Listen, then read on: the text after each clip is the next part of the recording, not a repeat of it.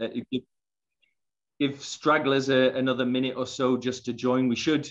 There was about uh, 40 odd sets uh, distributed, so uh, I'm hoping that moving the sofa so it's in line.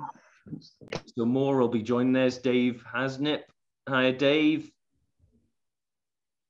Oh, he's so uh, is Tal joining Toma? Tal will join us in about 15 minutes, something like that. Great stuff, great stuff. Um, and there's Stuart. Hi, Stuart. Oh, he's coming on audio now. Yeah, thanks for sharing the. So the link there for the little whiskey shop is uh, is just in the chat. Is everybody all right? Uh, and since you're actually at home, uh, is anybody suffering from COVID? Are we all COVID free tonight? Are we all good? Yeah. Carl, Carl, I'll tell you a funny story. Yesterday I tested positive. Uh -huh. Today I tested negative. So I guess I'm negative, but I have to, I have to test tomorrow again. oh, when, when Lorraine and I uh, got COVID back, was it October? Um, we tested negative all the way up to the PCRs. We had uh, at least three or four uh, tests prior to it, and all were negative. And then it wasn't until we had the PCRs that it confirmed that we definitely had it. And there was still there was still times where it was coming in negative for the lateral flows. So you just kind of trust them. But hopefully you're feeling fine. Oh, taste buds are there. Oh, I'm looking That's forward to it. Yeah. Yeah. I know when I had it in October, uh, I lost all taste and smell for at least a week or so. It was a nightmare. Well, not as bad as it can be, I guess, but uh, it still was tough. so uh, there's Martin. Hiya, Martin. Uh, I think I've said hi to everybody. So uh, I'll tell you what, why don't we start? Uh, I know hopefully there'll be some more joining. Uh, Dan, are you cooking? I hope you're making enough for all of us. Sorry to interrupt. Sorry, Carl. I'm just going to listen along. I'm just in the middle of a brew. A brew? A brew? yeah. I've got. Well, does anybody want a cuppa? Because apparently Dan's making putting the kettle on. No, it's it's, it's the NEWAS Imperial Stout. Oh, oh. It's, uh, it's on it's on the go. That kind of brew. Now we're talking. Excellent.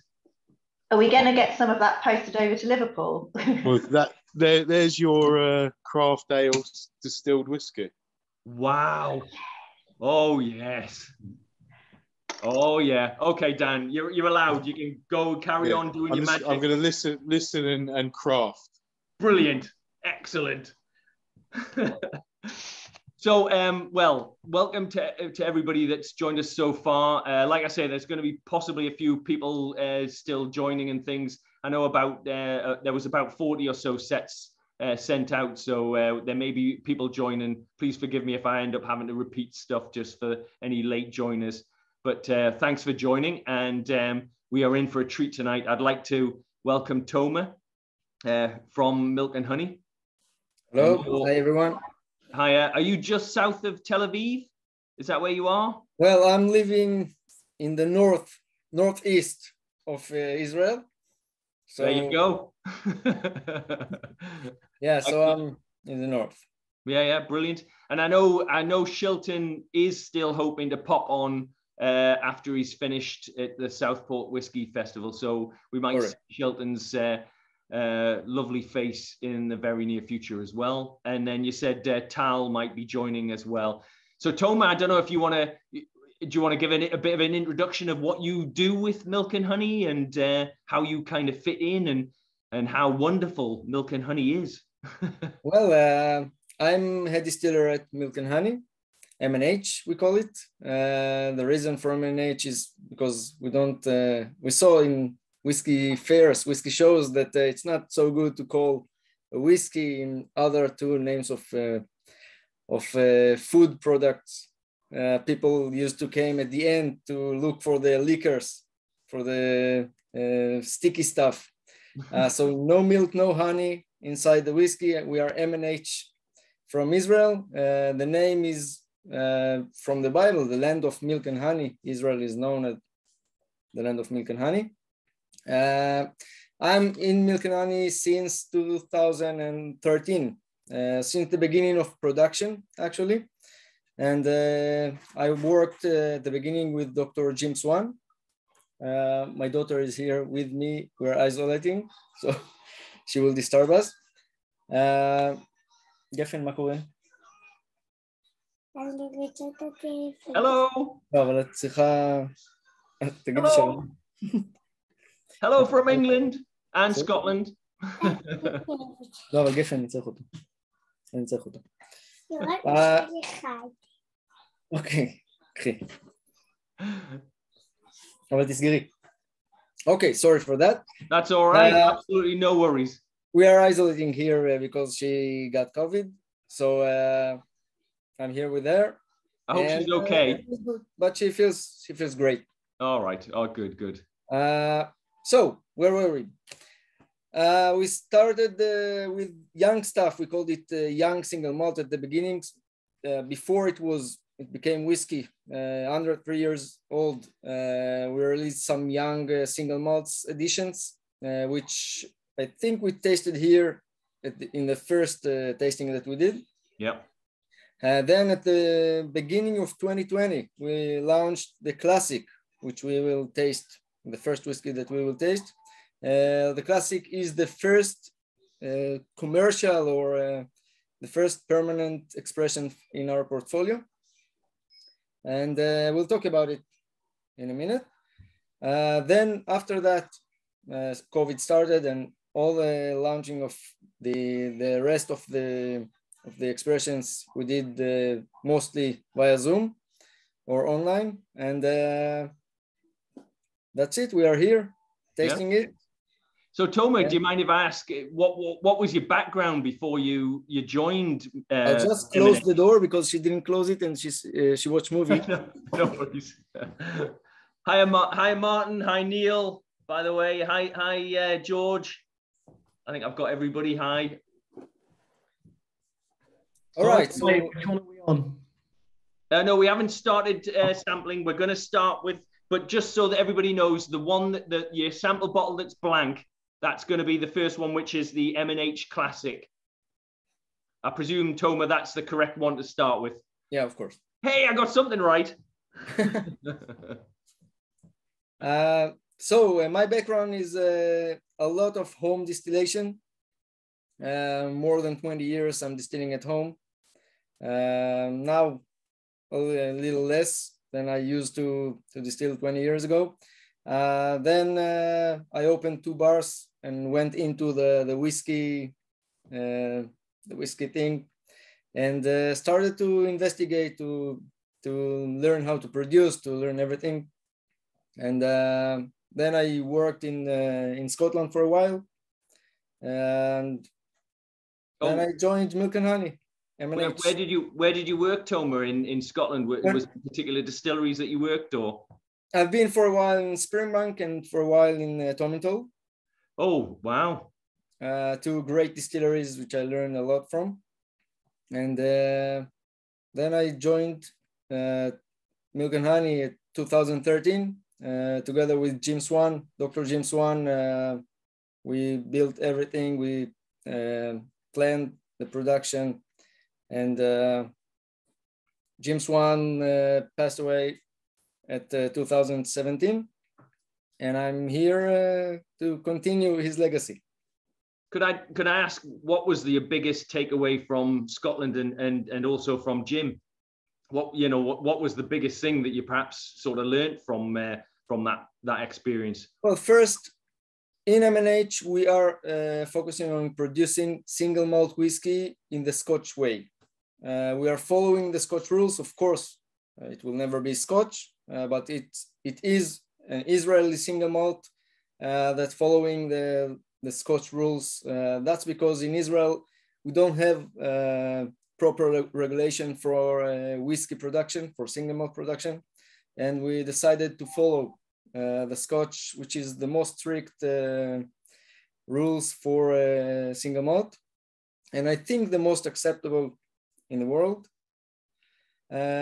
That's because we from day one we we were aiming global. Uh, we invested a lot in the distillery, money and uh, and a, a, lot more. And uh, you don't build such a distillery for the Israeli market, which is great but very very small. Uh, so we planned to export uh, worldwide from day one. Uh, what what more did you ask? Oh, it was, it, was there anything in particular that, that was the takeaway from maybe Jim or, or from Scotland? And I think you've kind of well, given from the... Jim, I took a lot. Uh, actually, from the beginning, he thought he taught me how to produce whiskey and uh, or things that I thought that I I know. He changed a little bit, and uh, from there I took it and uh, just uh, continued from there, from uh, what I learned from Jim Swan. Uh, from Scotland, I took everything. Uh, we are following the Scotch rules. We are producing Scotch-like whiskey, which is different in certain things because of the climate, because of uh, the way we are producing. But uh, Geffen Matnugat. don't, don't worry, we're, we're, we're very informal here. So oh, she, she's gonna break some any bottle. I'll very cool. I'm gonna die if she's breaking any. yeah, we'll see. We'll see your tears if uh, if some of those bottles fall off the shelf. yeah, so I will become red. Uh, By the way, if anybody does have any questions of Toma, uh, you know, please just show your hand or stick it in the chat box or or, or jump in. Uh, we don't stand on formality as, as everybody who's been before to one of these tastings uh, knows. But uh, you know, it, don't don't just leave it to me to ask questions. If you've got something that you'd like to ask, shout. Um, so, uh, by the way, oh, God, sorry, go on. Tom. I'll just add that uh, uh, we began production at uh, the end of 2013. but Milk and Honey M&H started by five high-tech entrepreneurs and the, the biggest investor invest investor is Gal Kalkstein will might join us later tonight. All right. And uh, yeah, we invited him. I hope he will finish some football game and join us. and uh, Geffen Lolishbo. and uh, that's it. Let's start to drink. Yeah. The classic. Yeah. So the classic is. If you uh, have any question, please feel free to ask me. So the classic is the one, the, the sample bottle that I've been very lazy and left blank. So there shouldn't be any uh, any of my artwork on the bottle, and that's the uh, the classic. So this is 46%, uh, and we'll just let Toma um, imprison the child. no, I'm joking. Obviously, he's not going to imprison a child, is he? Or Toma, are you are you still there? we need to have a little poll call so we can find out find a fifth uh, symbol for you to put on these. Well, yes, yes, that that would help. Yeah, I mean, uh, I I could put like a some sort of uh, negative thing rather than a kiss or a, a, a heart or something like that. But uh, no, I'm I'm trying to keep it positive. But yeah, it, it's difficult to come up with an additional equally positive uh, symbol. So if anybody's suggestions, there, there might be a free sample in it for you. you uh, could you could use a diamond. Diamond, that's yeah, but my artwork isn't that good. Literally circle with a spot in the center, just call it a target or like a Robin Hood or something. Mm, yeah, yeah, it's a possibility. It's a possibility. But I might it might get confused with my smile. No, no, it won't because it'll be so. Anyway, hi Atoma, uh, uh, back again. so um, so this is a classic. Uh, and I don't know if there's anything that you you want to ask about this, or Toma, if there, if you want to give us a bit of an intro to it. Of course. So the classic is the first whiskey in our portfolio, uh, maybe the most basic one, and it, it designed to be very drinkable. Uh, it can can fit most of the palates of the most of the people. Uh, although bottled at 46 ABV, it's very smooth. A lot of vanilla flavors, uh, caramel flavors. And uh, we use here 75% ex-bourbon cask, which are the the cask that we have the most at the distillery, around 85% of the cask at the distillery are ex-bourbon. We use it a lot in the classic. And the classic represents the distillery character. Uh, so it's unpeated. Most of the time we're doing unpeated barley. Only twice a year we are using peated barley for two weeks every, every time. And uh, the barley comes from you from the UK, uh, from a company called Muntons. Uh, we are moving to, to maturation and in Israel we have very hot climate and high humidity in Tel Aviv. Uh, that causes really quick uh, maturation and all of the whiskeys that you will taste tonight uh, matured for uh, three, four years, not more than it. Although we have some cask laying down, uh, most of the whiskeys matured for three or, or uh, four years, and it feels much older because of the hot climate. Uh, of course, we are losing a lot of angel share. In Tel Aviv, we are losing in average around 11% annually. And I'll, I'll talk about some different warehouses that we spread around Israel in different climate zones, uh, but we'll talk about it later before we are moving to the apex. Okay, and I mean, do you find that the classic is fairly, you know, so when you're doing a release, do you find that there is any variations in the different batches that you're producing, or are you are you managing uh, to to kind of retain a pretty stable kind of release, or well that that's the big part of my job and of course there was some uh, differenti- there were some differentiations between uh, the first batch and what we what you are do- drinking today. Uh, but uh, now we we keep it uh, quite consistent. And uh, i think it's much better than the first batch of the classic but it's still very consistent. Yeah and I guess one quick question around the the bourbon uh, casks. I mean, do you have a particular distillery that you source your casks from, or? Yeah, so I prefer to use mostly MGP casks uh, from uh, MGP from Kentucky, uh, but we are using a lot of Jim Beam, uh, some Woodford Reserve, and a few more, but uh, that's most of our casks. Yeah.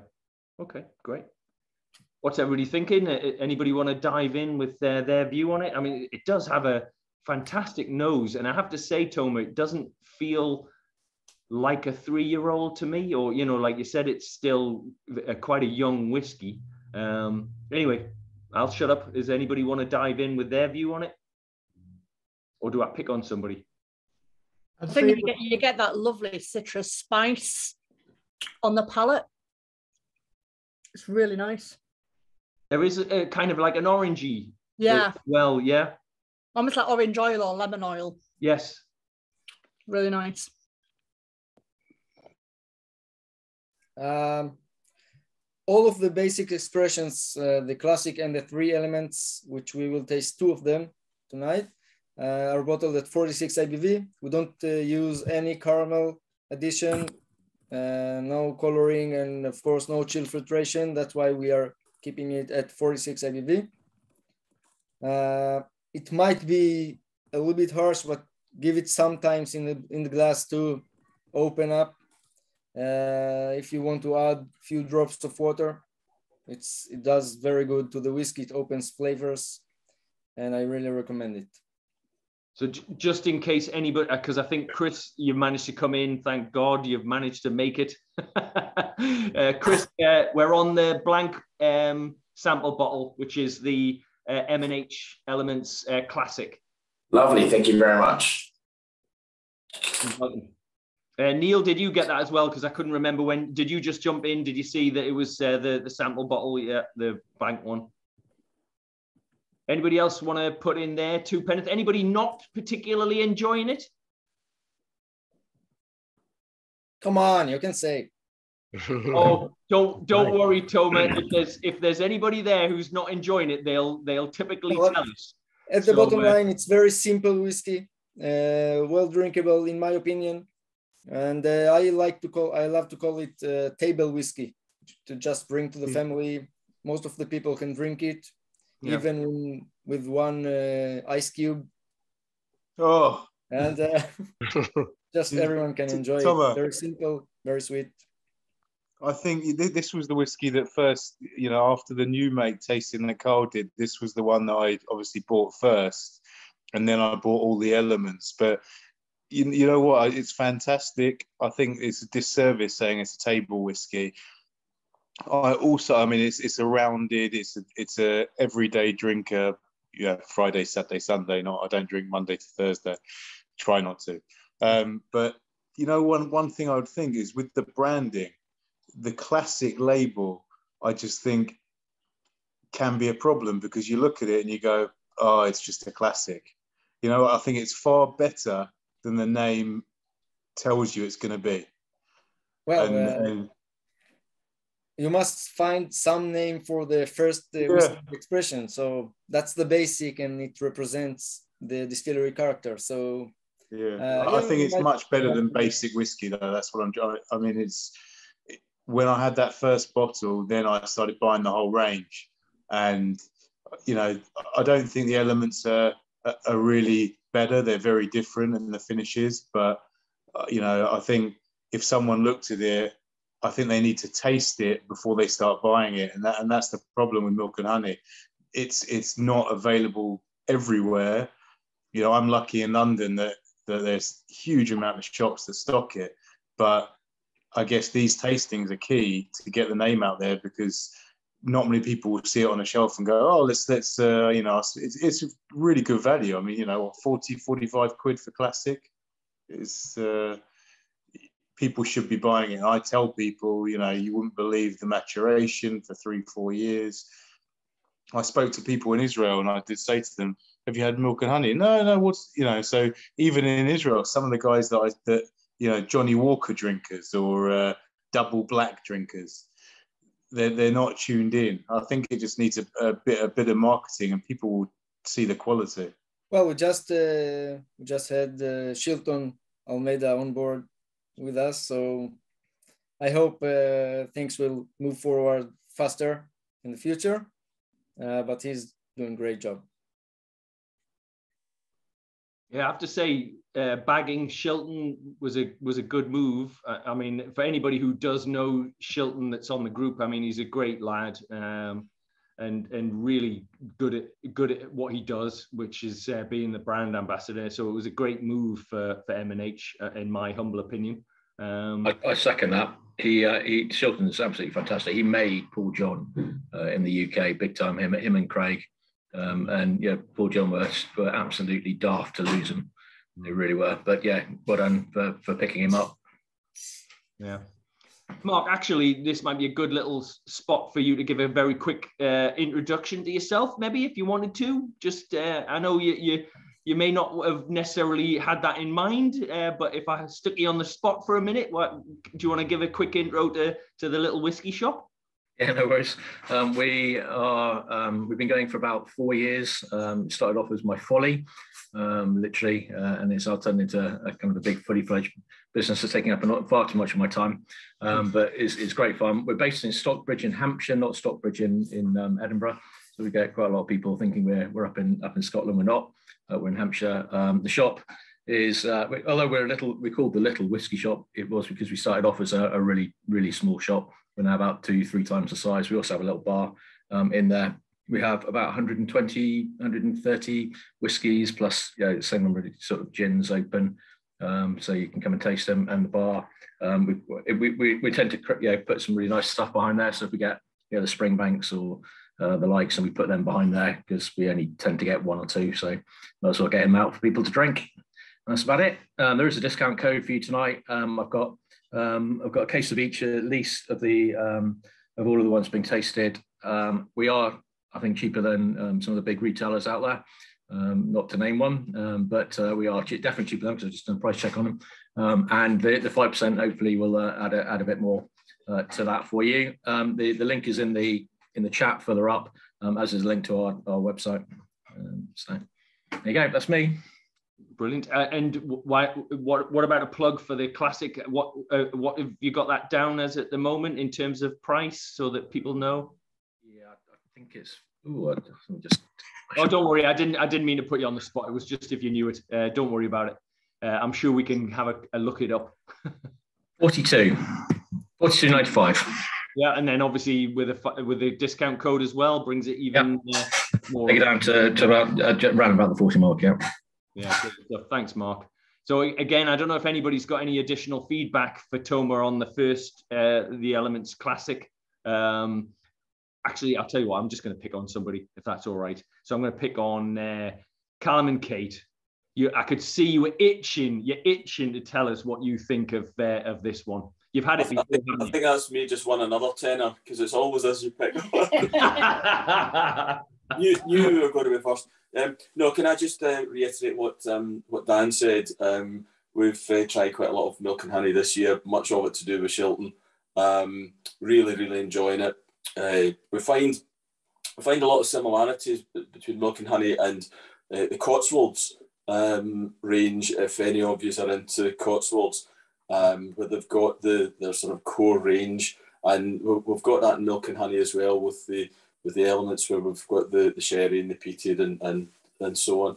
Um, but the apex ones that we'll try later on um, are absolutely superb. Really love those ranges as well. But what we've got for the classic. Um, fresh coastal hint of butter, floral honey, buttery biscuits, toffee sauce, vanilla, um, oily tin fruit, fruit syrup, um, nutty, a hint of pepper, white pepper, um, is what we've got down for it. So I don't know if anybody agrees or not.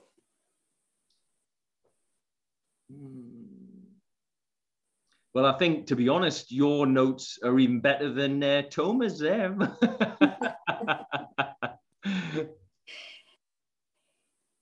Thank you. Cheers. So, did, did you enjoy it? Did you say? Did you really yeah. like the? Class? Oh, absolutely. Yes, it's a, re- a really good uh, introduction. Um, again, I, I, don't. I think to call it just a table whiskey or, or whatever is probably doing it a little bit of a disservice. Um, it's it's more than that, and it's much better than some of the uh, new inaugural releases, for instance, that we've seen in the last year or two. Um, why, why you would spend, you know, 70 or 100 pounds on some of the inaugural releases when you can buy this um, from the from the shop for 42 pounds yeah so, i mean that that's the the uh, packaging for it and is it just me but it actually feels almost as if it's kind of the, even the packet the like the the yellow almost for me anyway i don't know if it's just me but it feels as if it's kind of doing it a disservice even the packaging feels as if it's a, like a cheaper kind of bottle. I, I don't know. Is it is it me? I think I think it's fair to say the only downside of that whiskey is the packaging.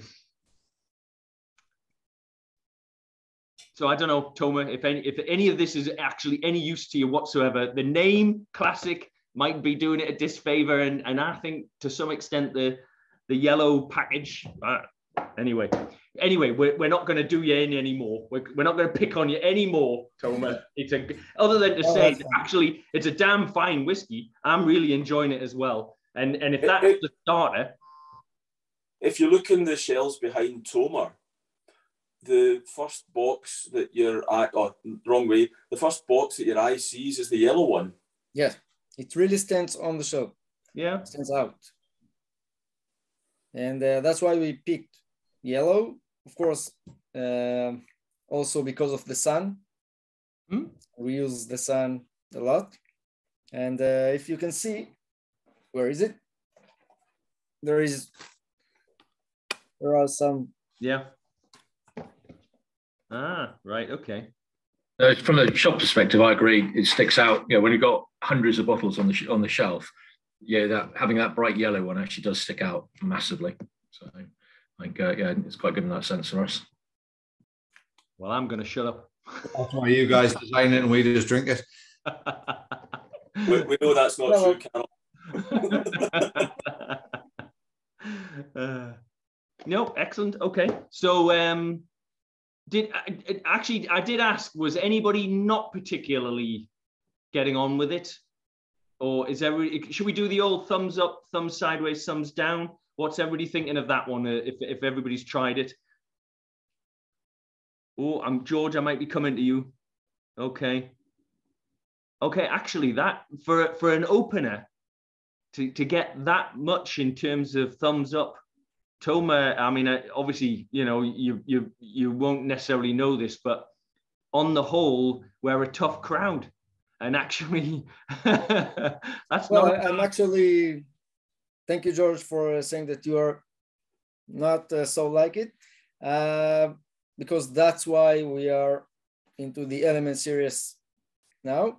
And uh, the Element series takes ex-bourbon and STR cask, which we use for the classic, and takes it to the next level, next level of, com of complexity, next level of taste, flavors. And uh, to each element, we add another uh, cask type. Uh, also bottled at 46 ABV, no additional color, and uh, no, no chilled filtration. And uh, I think we'll start with the red wine. Yep. So that's the kiss, the cross. If you've got my wonderful artwork in front of you, uh, hopefully it'll stand out as a nice little kiss for you. That's the one. Thanks, George. Has anybody got these already out and in their glasses, or are you pouring them out for the first time? I would definitely recommend if you have got enough glasses to what what a lot of us tend to do. Yeah, uh, Simon's got them there. Uh, is is have them uh, having a little bit of a breathe for for 10, 15. Anyway, Slange. Well, even if we add we are adding more complexity, more flavors, uh, we still want to maintain the distillery character inside the element series. So if we are doing a red wine expression, sherry or peated, it will not be uh, full of flavor or uh, not heavily peated, not a sherry bomb, and of course not a very winey whiskey. To just add um, more flavor, but still keep it balanced and still keep the distillery character inside. That's the idea be, be, uh, behind the Element series. And uh, I'm sure that even George, that didn't like the, the classic, which is great, uh, will find at least one whiskey in our in our core range portfolio that he will love to buy. Oh, now correct me if I'm wrong, but George, you didn't necessarily say you didn't like it. It was kind of hovering. Yeah, yeah, okay. So, yeah, yeah. So, which is, uh, sorry, go on, George. So basically, it reminded me a lot of Auchentoshan and American Oak, and a lot remind me a lot of Tullibardine, where a lot of whiskies, when it comes like their, you know, go-to or this is our cheapest or most accessible bottle, will use the bourbon cask and when it comes to those ones, and when I have them in my mind, and it's worth noting, I'm a I'm a much cheaper drinker than everyone else here, so I know those ones quite well. It failed to really pull itself out of the uh, pack. I I saw like the tropes, and I felt like it didn't quite. It's not a bad whiskey, but when you've kind of been in that wheelhouse, you kind of know what familiar is, and it didn't quite ascend that quite for me. You know. Yeah, fair enough. Well, and that's it. Everybody's uh, you, are not wrong. It's it's down to everybody individually what they what they're going to choose, and we all hear it, and um, we know it. So, uh, aye. So, what's everybody think? Oh, actually, Tom, I was going to ask. Now, you said red wine. Um, any? Do you want to? Are you able to elaborate on exactly what kind of red wine casks you're using? Yes, of course. So we are using red wines from Israel, red wine cask from uh, Israeli wineries. Uh, of course, we must use uh, kosher casks because we are kosher. So in Israel, it's not a problem finding uh, kosher wine casks. We have a lot of kosher wineries. And uh, we mostly like to use Mediterranean variety of grapes. So Carignan, uh, a lot. We have some ancient uh, uh, grape varieties. Hello, Tal. Hi, Tal. Hey, how are you guys? Yeah, good. Great to see you. Uh, sorry that I was so late, but uh, there was the Tel Aviv Derby today, and my team won. So uh, yeah, uh, now I'm with you. you're you're allowed. Way. What was the final score then? Oh, we've lost him. What was the final score? Uh, three to two. Three, three to two. two. Nine uh, it was the 93rd minute, 93rd minute. We just won. It was 2-2 and then 93rd minute. Uh, you know, the big stadium is just uh, 50 minutes, uh, 50 meters from uh, the distillery. So it's a, it's a home game. Excellent. Well, now you've got something to celebrate. Yeah. So uh, my son made me a martini, so I'm with the martini now, and then I'm, I'll switch to the whiskeys. Good stuff. Well, thanks for joining us, Tal. So um, I, I, don't know if anybody's got any questions about this expression uh, or any questions of, of Tomer. I'll just tell you that uh, mostly I don't really like, I'm not a big fan of uh, wine cask uh, matured whiskies. So uh, here we try to balance things, and uh, I think it's a really nice, well balanced uh, wine cask matured whiskey. It's not too winey. We took some some notes, some flavors, and it's very balanced over the the ex bourbon and STR casks. I'm actually amazed that this is 46% it actually feels bigger ABV. It's got a quite a warming sensation to the back of your throat. I mean, it kind of suggests to me more like a, a near a 50% or so. So it, it certainly feels much bigger uh, than the classic. Does anybody want to throw in their two penneth on this one? If nobody jumps in, I'm going to pick on somebody mind. Is there? A, have you got a rough idea of the ratio? Because I I wouldn't have picked this as red wine in in any world, but there is definitely a sweetness to it. So is, is it like 50 50 bourbon STR or, or what's the, if you're able to say? Carl, I'm going to check if my daughter went into bed and uh, Tal will take it from here. I'll join you again later. Yeah, yeah. It's uh, so yeah. Tomer's daughter is she's she's positive for the first time in in her life. Yeah. Um, so I'll see you. I see you later again. Yeah, no worries, Tomer. Good luck. So, um, so, so Tal, that was that was um, that was despicable of Tomer to to make you uh, have to take over and use that terrible, horrid, horrid excuse to uh, try to get out of answering that question from Chris. I mean, just because he doesn't have a clue, do that kind of thing to us is just I mean, it, it's it's just unforgivable. So, Tal, save, save Tomer. Go for it.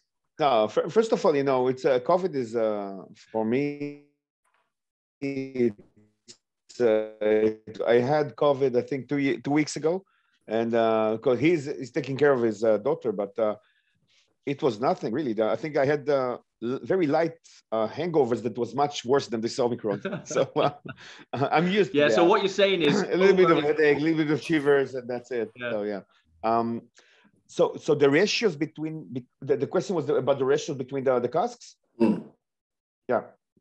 Um, so again, half of it, uh, around 50%, is uh, it's like the same with the with the classic. So it's 80%, around 80% of bourbon casks, and then STR, it's really 15, and then uh, 15 or 16, and then a little bit of uh, virgin oak, and then the rest of the 50, it's uh, mostly Carignan cask, but bigger, uh, around uh, 300 liters or 350 liters casks. Um, it gets us a winey note, but not over wininess. We, we don't like very winey winey whiskeys. So this is why the ratio is like that. We still have some Cabernet and Merlot that, but Israeli Merlots with, with our terroir and our climate um, gets kind of green notes, you know, like green peppers, some green coffee. So this is what kind of what you get in the notes there. It when it gets thinking translated to be uh, earthy, more earthy in the whiskey, and then uh, th- than than really sweet ones or, or you know overwhelming. Uh, so I think uh, you know it it was the worst whiskey to make. It was the hardest uh, blend to make for us because we don't like uh, um, overwhelming wine wine cask whiskeys but I think it's the more complex one, and uh, I think eventually I, I, really like this one. I think it's uh, it's just one step uh, above the the classic because classic is great, but then you get this one which is darker, deeper a little bit, and then and you, when you get the wood notes, it's uh, it's wine wood, you know, it's wine cask, and not it's not a whiskey cask. So ratios is about 50-50. Something like that. I, it was a very short answer that I went along for 10 minutes. So uh, I'm still having a martini. I'm still, uh, you know, um, celebrating the game. Fair enough. I feel Look. like I feel like it's um, a wine. It's like a wine cask whiskey for people that um, don't think that they like wine cask whiskies. I think this would be a really good one to to get people who always say they don't like wine wine finishes and wine wine um, uh, matured whiskies because it's so well balanced and it's not like there's it's not overly drying. It's not mm. um, like tannic or anything like that. And for me, it's just I get so much like on the nose. It's so fruity. It's like apple, loads of apples and caramel toffee. It's, it really reminds me of like a tart tatin. And um, on the very end of the nose, actually, I get like a a, a bit of chocolate that's almost like Nest, you know, like powdered Nesquik or something. You know, yeah. That sort yeah. of smell. But it's even even on the on the palate, it's kind of like everything's really balanced. There's a bit of heat from like um, pepper or like a ginger type heat, but it's not overpowering and the chocolate isn't overpowering and the you know the, the sweetness isn't overpowering so i think it's really beautifully balanced thank you i, I think i think it is this was exactly the the aim we were going to and uh, i think that most of the um, the casks uh, the elements uh, series are is like that is uh, balanced so you're going to taste later on, you're to taste the sherry, you're to taste the peated one. So it's not going to be a sherry bomb. It's not going to be a peated, uh, uh, peated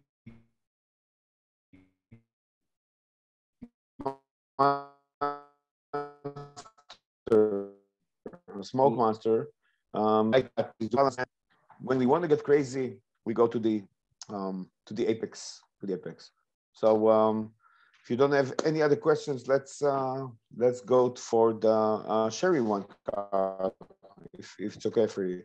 Can we can we just have a quick check, Tal, as to what everybody thought of that one? Again, do you want to do the uh, the old thumbs up, thumbs side? Yeah. It's a very technical approach we take right. with uh, NEWAS. Uh, as you can tell, it's I mean all the statistics we collect we crunch, we number all, you know, like it's incredible what we do in the background. So uh, thumbs up, thumbs sideways, thumbs down. it's a big one for me. Okay. Oh, Stuart, sideways, sideways. right? Might need to ask you as well. Okay. Oh, there's a couple of people who aren't a bit under. Royson, what did you think on this one? Did you? All right. Okay. Okay. Uh, Dan's making his imperial stout, so he's not there. Uh, Dave, Dave Hasn't it. what did you think of it?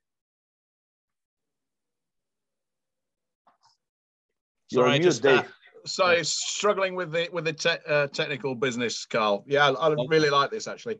I, I, like the first one; it's pleasant. Um, I like the, the sort of the vanilla edge to it. It was, it was nice, but this is a step up. Um, yeah, it's. Uh, I think I agree with you. Uh, there's there's a, a, a, sort of real body to it, which I like, which is more than the 46% indicates. Yeah.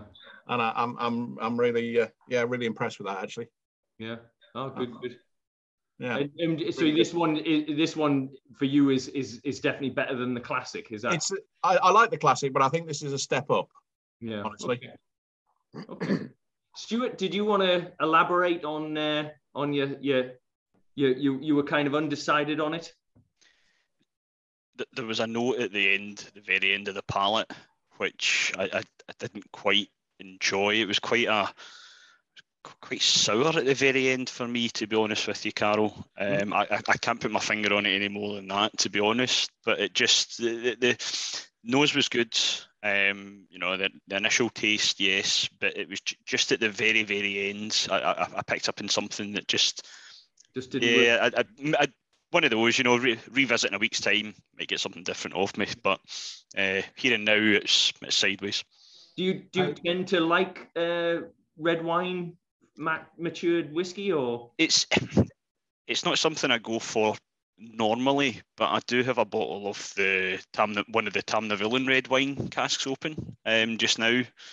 You know, and uh, and you know, very cheap at the supermarket when they're on offer, and, and, and a very easy, oh, you know, forty percent, very very easy drinker. But yeah. you know, I I don't think it's particularly the you know the red wine aspect. It's it, as I say, it was just just something at something the very at the end. end. That, yeah, just just didn't quite didn't quite hit the spot for me.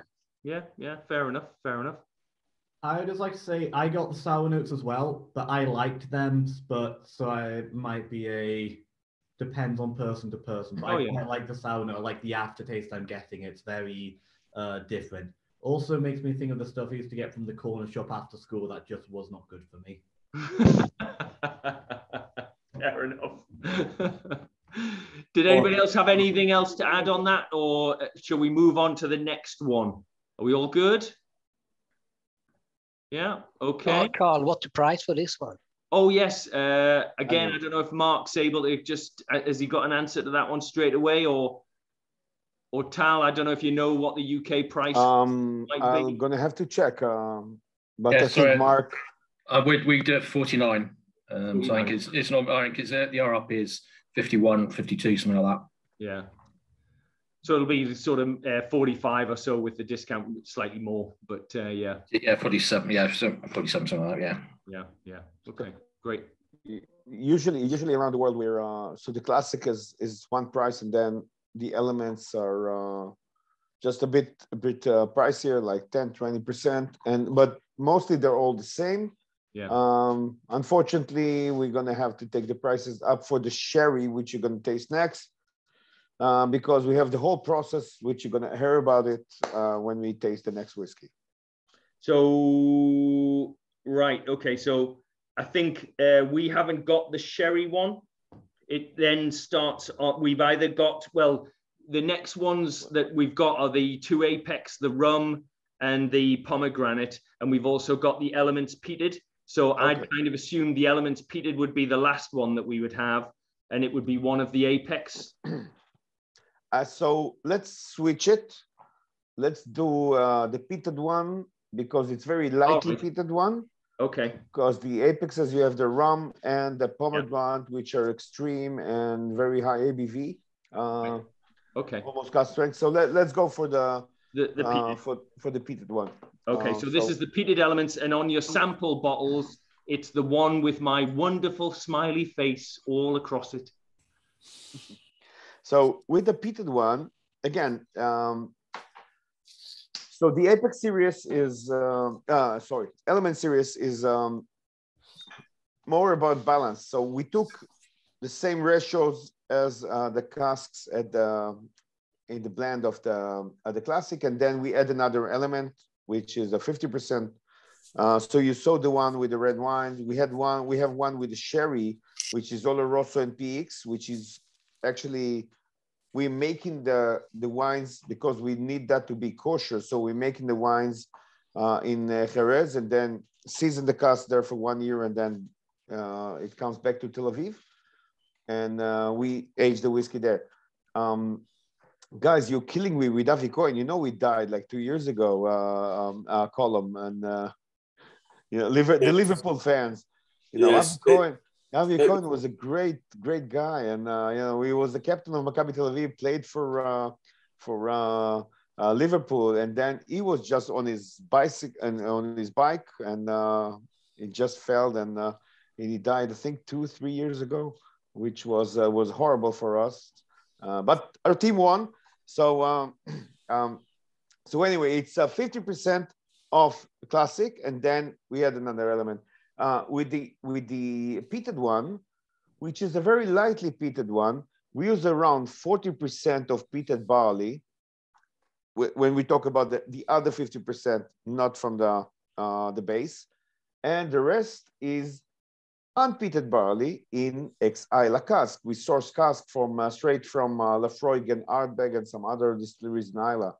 Uh, so it's a combination from when you get the peated barley spirit, it gets you, you know, the, the, the smokiness and some of the uh, the peatiness, and it's more deep when you get the casks, uh, the, the scent and the taste from the Islay cask, you get more earthiness, grassiness. So it's a kind of a combination between a grassy one and a peated one. So when you smell it, I think it's more herbal, it's more grassy, it's more earthy. And then when you taste it, you get the, the maritime uh, scents. I want to say hello to Gal. Gal, say hello. Hello. Hi, Gal. Uh, I, I just started to talk about the coin and uh, some we great players. Uh, yeah. so uh, I yeah, came yeah. in. I guess. Gal, Gal is the founder and the owner of the distillery and the current CEO. So uh, cheers, Gal. Great to see you. Um, I, so enjoy it, guys. I guess I guess we're in the pitted one right now. Yes. Yeah. Yes. Uh, element peated. Element pitted. Yeah. So um, I'm working on it. Try yeah. to get the difference between the try to get the difference between the your scent and the palate, and I think it's uh, as long as we go on and on, and we have more and more um, aged peated spirit, it's going to get more connected. Because sometimes I feel the difference between the nose and the palate, but I think it's uh, it's beautiful. And as uh, as Becca said, for the um, for the wine casks, for the element wine cask, the element uh, uh, red wine, it's it's one that opens the world for for winey whiskeys. This can open the world for peated whiskeys because it's not a pit monster, but it's still peaty. Cheers. Cheers, Slange. What's everybody thinking of this? I, am actually surprised at just how subtle the uh, the peat is. Very, very subtle, yeah. On the, on the nose, I wouldn't, I wouldn't have put this as a peated whiskey.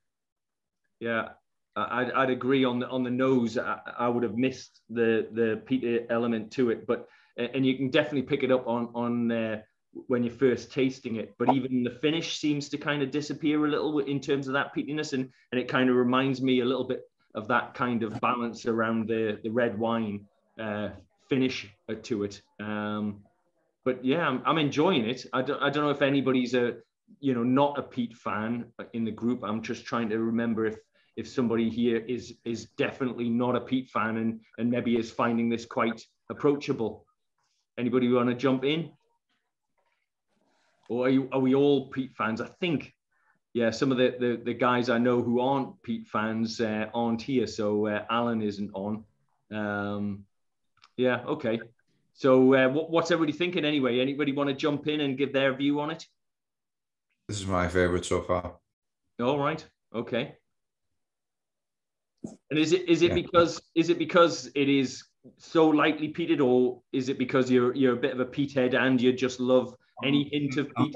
I am a bit of a peat head. Um, and it's it's because because I'm not getting anything on the nose. When you get it on the palate, it's a nice surprise. Yeah. It is, it is still subtle and it, it's nice.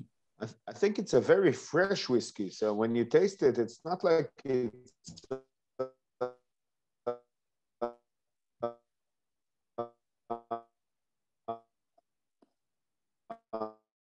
Oh, Tal, we're missing you here. Overpowering by the. You don't hear me? You, oh, my connection. Okay. You, you were just you were breaking up a bit there, Tal. Okay, can you hear me now? Yeah. Okay, so I think it's um, it's a lot of um, it because it's it's so fresh.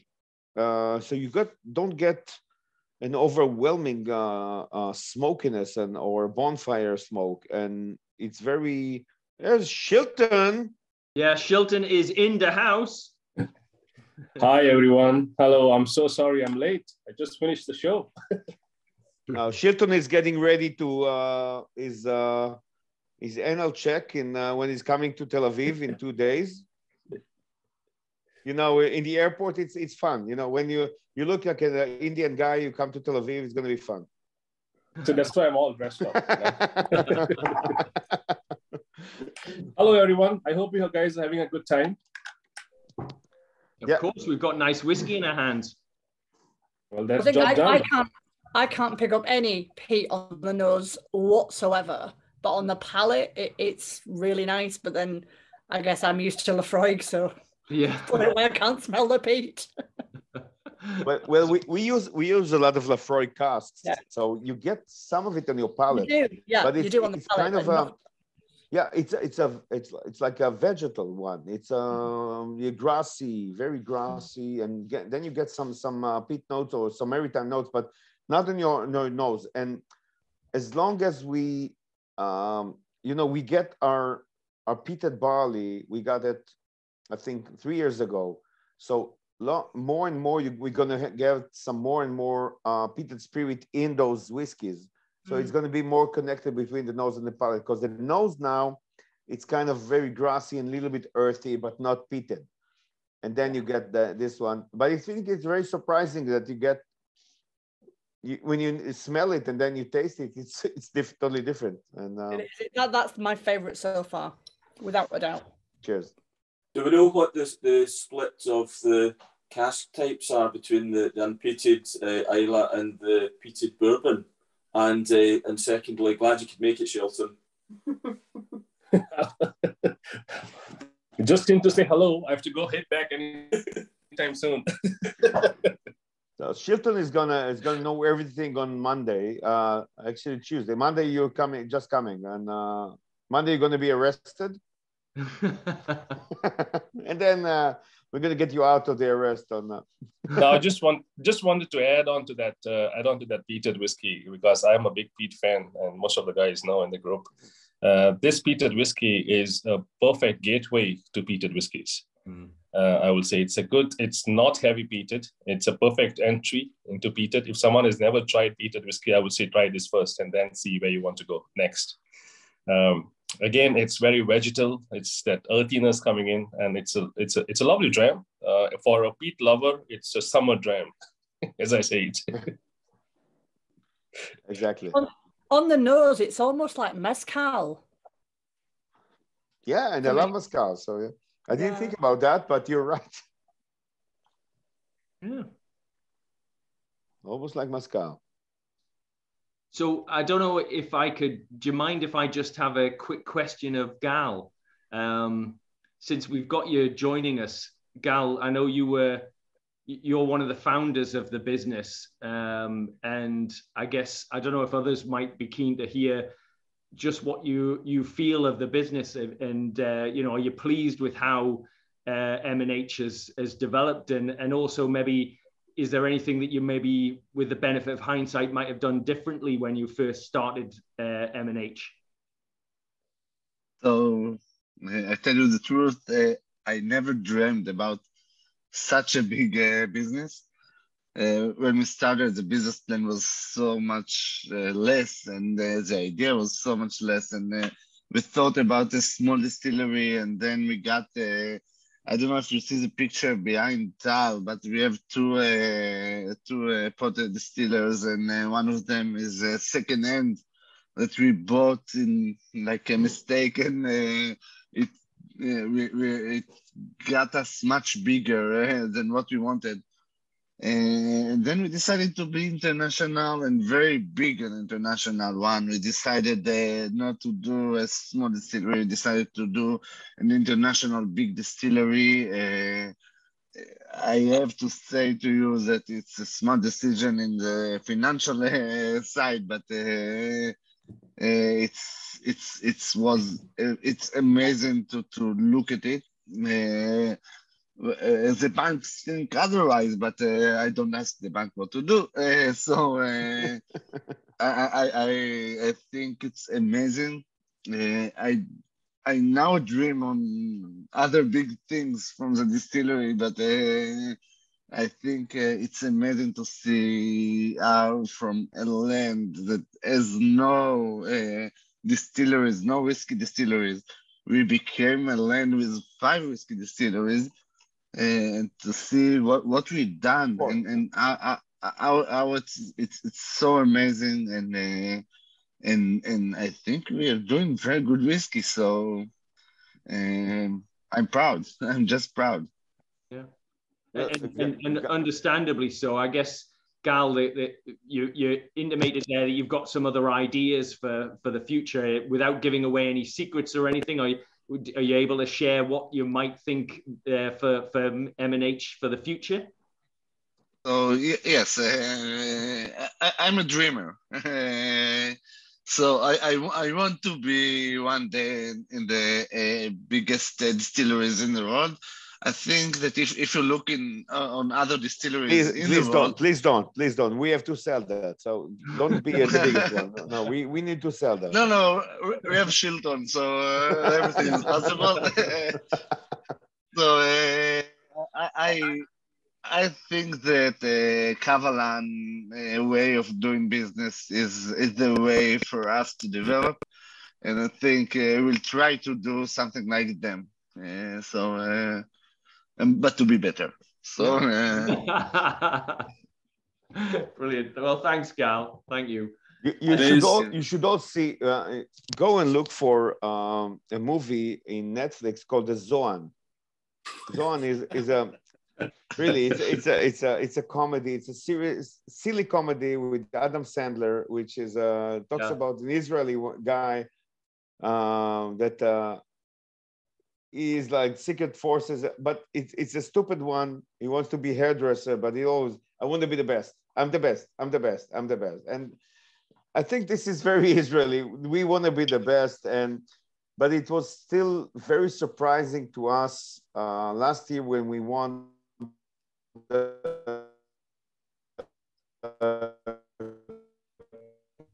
producer of the year, the best. Uh, know about that. We didn't submit ourselves uh, to the. Uh, oh, Tal, we're, we're missing you there. Uh, to the show, and uh, uh, sorry, I'm, I'm gonna come back in a second. I'm gonna try to make it better.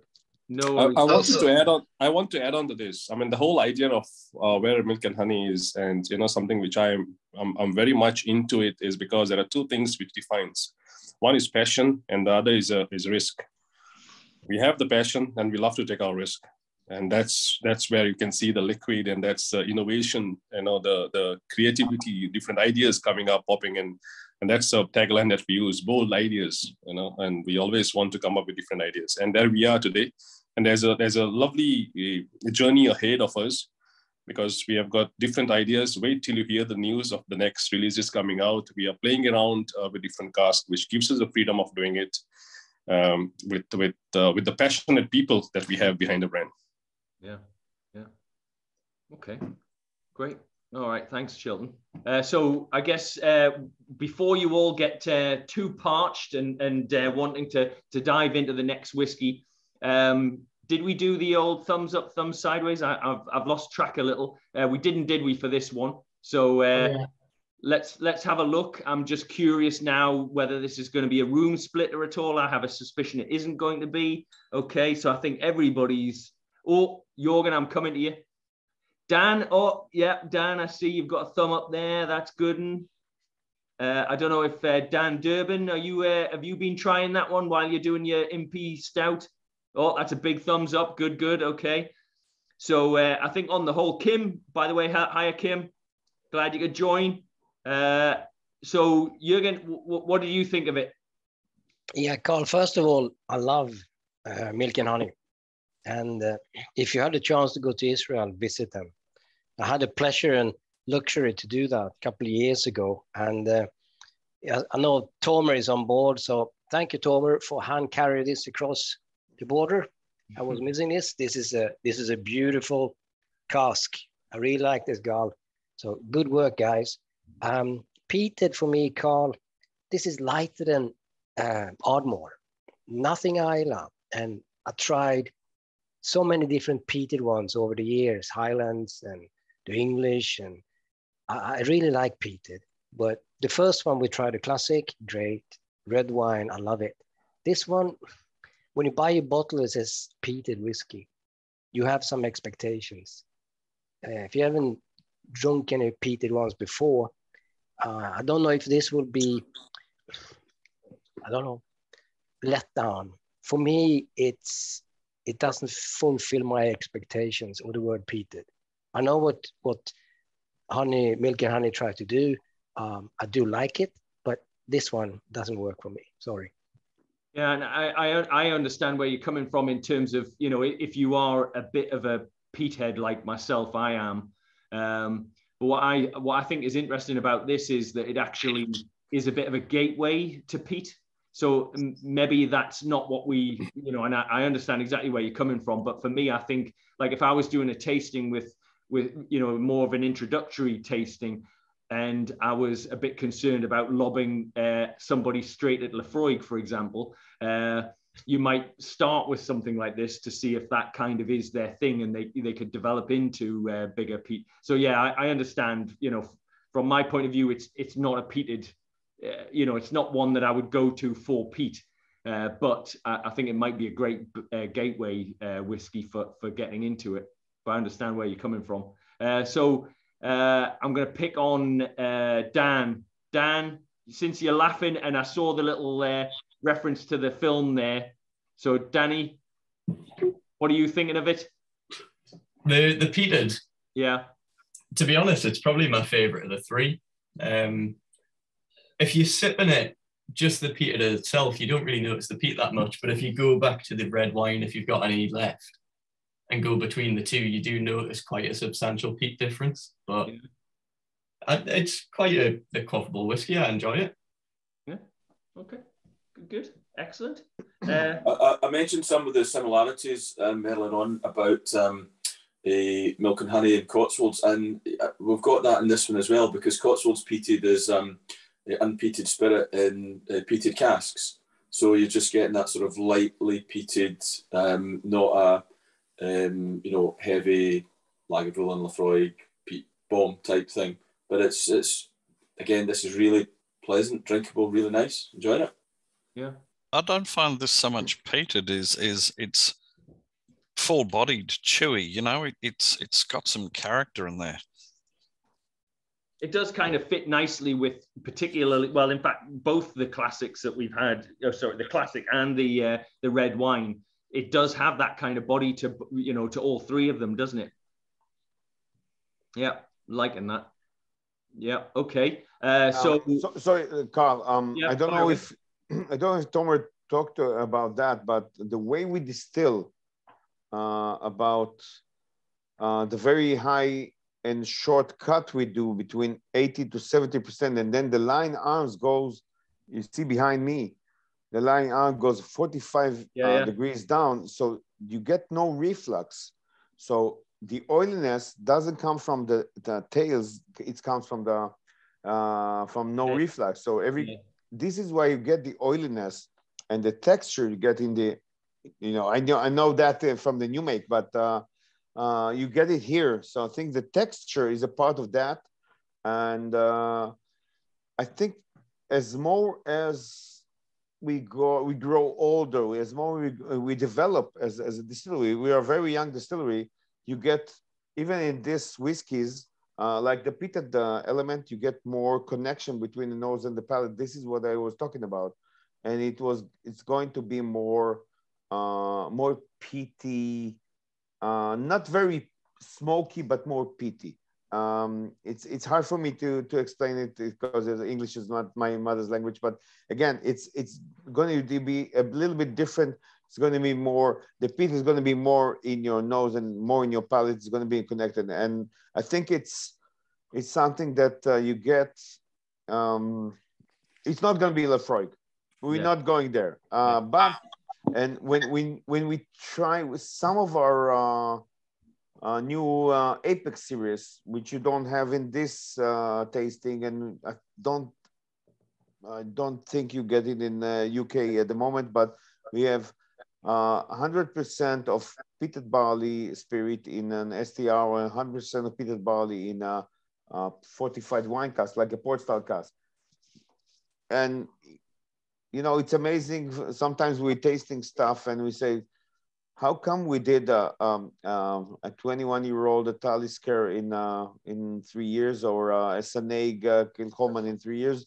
And it's like that because we get it everything is more expressive uh, in our climate with our distillery so it's not this is something that we still grow in um, and i think that the elements here is still going to be very balanced but as long as i think next batches for the elements uh, peated is going to be more connected and more more deep yeah actually you, you talk about the line arm in, in on your still did you specifically aim to have that? You know, did yeah. you design it that way? Um, so the, the man who, who designed the distillery was Dr. Jim Swan. So, uh, yeah. you know, he, he, yeah, exactly. He, he did that. Specifically picked that that shape. Yeah, it, it, was it was a fight between uh, the company that made the, the steel and uh, him. Uh, they talked about the percentage. We looked at them like crazy people. That uh, what are they talking about? But uh, yes, yes, it was designed. He knew what he's doing, and uh, so, it's amazing. It's amazing. Uh, the the the spirit steel was custom made for us. The um, the wash steel was found secondhand online in Romania in a barn. Really, swear to God. Um, so it was, I don't know what they were doing that. And it says it's 9,000 liters and it was standing next to a door. So it's, you know, it online next to a door, you know, Romanians, uh, we went there, it was a barn door. It was a very big barn door. Uh, so anyway, but uh, Jim Swan really liked the shape, the condition, and the and the line arm uh, of the Romanian one, and he said it's gonna be great for us to try to get uh, this one. And then the second one, the steel one, uh, the spirit steel was uh, custom made exactly the same the same uh, uh, ratio. So if you look at this one is the is the the second one is the uh, the Carl the Carl from Germany.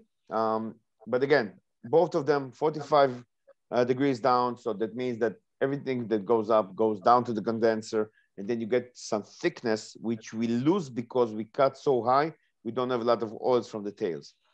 But it's very clean, very fruity, very, uh, sometimes I think that our uh, new make is like a grappa with uh, pastry note, grappa with croissant or something like that, which is great for us. And this is what makes a lot of, um, um, I think when you get, we get uh, notes scents and tastes from the tails, which are sometimes are off. They're not very good scents, but they help you with antioxidation and they're changing in eight to 10 to 12 years. We have rapid maturation. So for us in three to five years maturation, if I'm gonna put some more of the tails inside, it's going still gonna be a, a kind of stinky.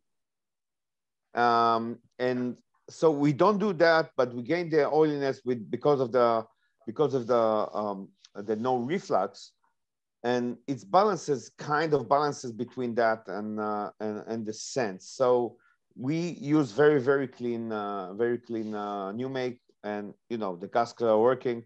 Our casks are working twenty four seven. Yeah. Okay. Okay. Great. Well, I'm guessing uh, who wants to dive into the first of our two Apex bottles? Oh yeah, yeah. just, just, just, just to add on, the moment Tal mentioned that we bought the steels online, I've seen a lot of people uh, opening up their phone and trying to buy steel on Amazon. no, we're gonna we're, we're, gonna share the we're gonna share the yeah the website. so, um, which Tal, which apex do you recommend we start with? So we we rum. The, the rum you have the rum and you have the rum and the pomegranate. We do, yes. So okay, let's start so the, with the rum. The rum, the rum sample bottle is the one with the nice, beautiful artwork of tick, a tick on your bottle. I hope David Nickel, I hope we're keeping you awake here. I saw that yawn. so yes, the one with the tick. So by the way, uh, Apex looks like that. Uh, it's more fancy, more fancy bottles, more fancy.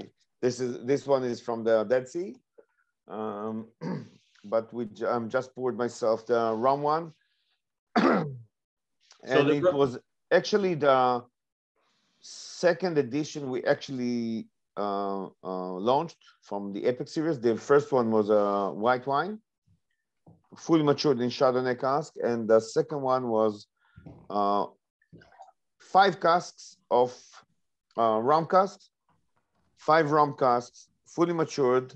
I can tell you that four of them was were uh, I think Hampden casks, funky, and uh, you know Jamaican one, and one was um, the Cuban one, Havana Club. So four Hampden, one Havana Club, all fully matured, and it was 60 something or 50. I, I don't remember. Which was what was the ABV on that one? Oh, so the ABV on this one is 57.3%. 57.3. Okay.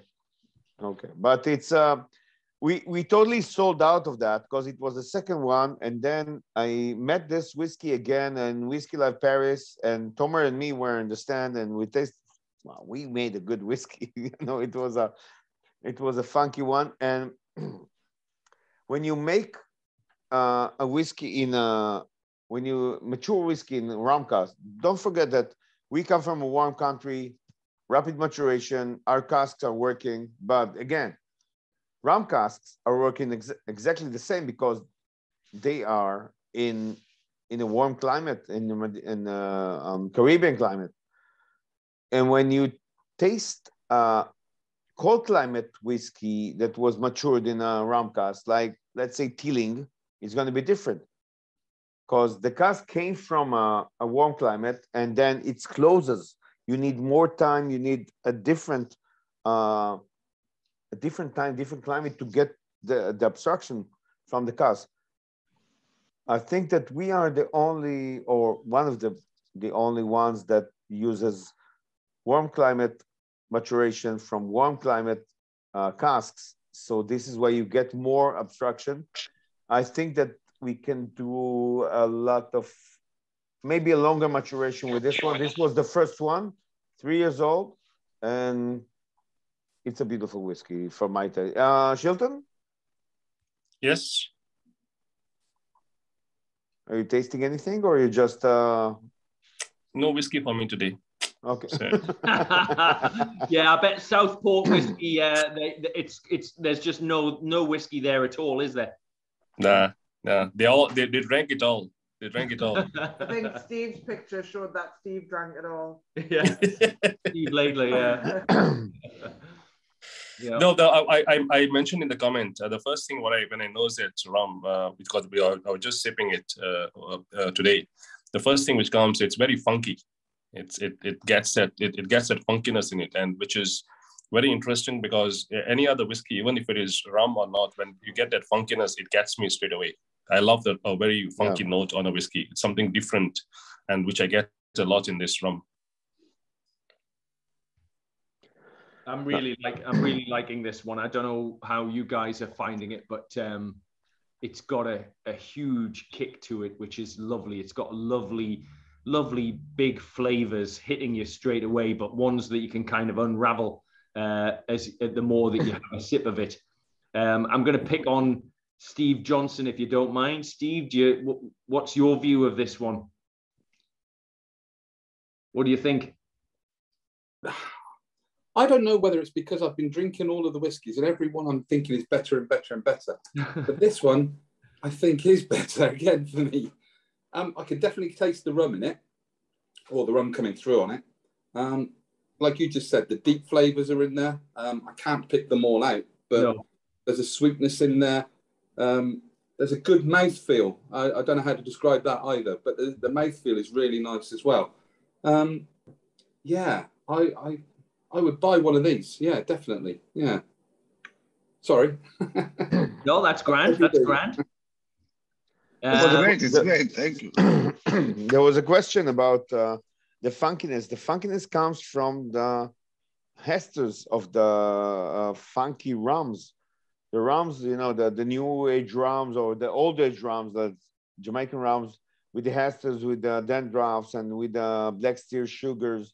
So this is why it, it, sticks in the cask and we kind of taking it out of the cask. So uh, funkiness comes only from the wood. Uh, we don't use anything. It's the same new make, same new make yeah. That you taste from classic and uh, of the red wine cask. Same thing, just just the casks, and uh, it's beautiful. I think it's tropical. It's, you get some tropical notes. You add a little bit of water, you get some tropical notes, and it really is a, a beautiful whiskey. And we we totally forgot about that because we I think we probably we have one bottle in Tomer's lab, but that's it. And uh, as I told you, again, we were in uh, the Whiskey Live Paris, Paris Whiskey Live, and you know, everyone speaking French, so we drank, and uh, this is this is uh, one of the whiskeys which I mean, if you have your second best spirit, for me, uh, after whiskey will be rum all the time. Yeah. So this is my whiskey. You know, uh, if if you have your if you like your rum, and and your and your whiskey, this is this is your go-to. And there are not many whiskeys out there do rum finishes, so that stands out a lot for me. Yeah. Yeah. And it's a full maturation. It's a it's a three year old maturation in in uh, in um, in rum cask. It's not a finish. And again, it's a difference between any kind of um, cold climate, Scotland, Ireland uh, distilleries that use worm cask, uh, rum cask than, than us or Kavalan or Amrut or uh, Paul John, because we can get some more fruitiness, some more uh, extract of the wood because of the climate. Because in cold climates, the wood is actually closing because it comes from a, a warm climate. So it's a kind of different. Yeah. You know, we, we're just experimenting all the time, and uh, I think it's it's the beautiful thing about uh, the the world of whiskey. I'm just curious. I know how good the the um the peated uh, uh, uh, expression was. I'm I'm just curious whether like I'm just kind of spitballing, but I'd have loved to have tried this rum with uh, uh the underlying bit of peat going on as well uh, it would be, it, you know, that would make it. I mean, this is a stunning whiskey. I'm really enjoying it. But uh, the peat head in me as well also is crying out to say, oh, I wonder what this would have been like if you'd mixed the two. Uh, so yeah, but anyway, I'm just I'm just kind of next next year. Next year. Don't worry about it. Next year. No, you, you, we thought about that. Yeah. yeah, just starting, Carl. There's a long way ahead. yeah, but we, we want everything now. the problem with whiskey is you have to, to wait a have little bit. Wait. And uh, the good thing about our climate that you don't have to wait a lot. So we, we we believe me, we have that. We have that experiment. So uh, yeah. we have we just yesterday I was tasting two casks of orange wines. You know orange wines? yeah, which are very you know very trendy now. Um, it's it's a kind of a white wine that you are making like a red wine with a lot of uh, skin contact and extract, and so we had.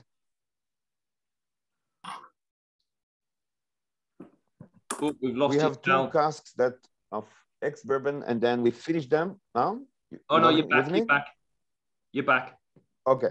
So anyway, so we have the two casks, uh, which we do uh, a little bit of uh, experiment again. Um, two casks that I think we finished in eight months of uh, in inside uh, orange wine casks, and we just take, tasted two casks, so different, just one next to the other. We mix them. It's going to be a beautiful whiskey. So, uh, uh, Shilton, you're going to taste it next week if you're going to get out of jail. Well, if you don't finish it by the time I get there. yeah, one of our problems with it's with um, the the RLA because we're tasting so much. So. so, um, uh, so I hope you like uh, the rum cask. I think it's uh, it's a different one. Yeah.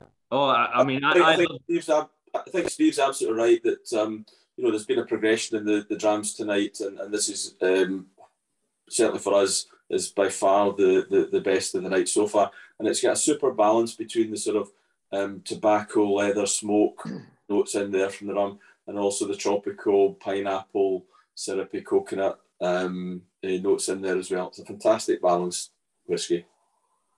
Yeah. Yeah, I mean, you certainly wouldn't, you, you know, you're certainly not getting hit by the ABV from it. So from that perspective, it's very balanced as well. Um, yeah, uh, Matt, what what do you think of it? If you don't mind me asking. Ah, this is the beauty. Um, yeah, I, I, really like this a lot. I, am getting pineapple as well, um, and a, and a lot of tropical fruit, fruits. It's it's it's an absolutely cracking whiskey. Yeah, yeah, no, yeah, I really I really like this. This is my favourite of the night so far. It's an absolute beauty.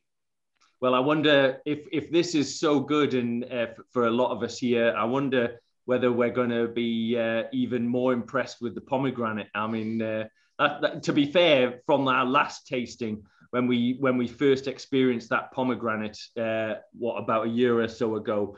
Um, it was an absolute standout stunner at the time. So I'm just I'm just curious whether this rum one is uh, is is setting us up for for whether or not this is going to be the better of the two apex or, or not. I'm, I'm now I'm now I'm on tender hooks.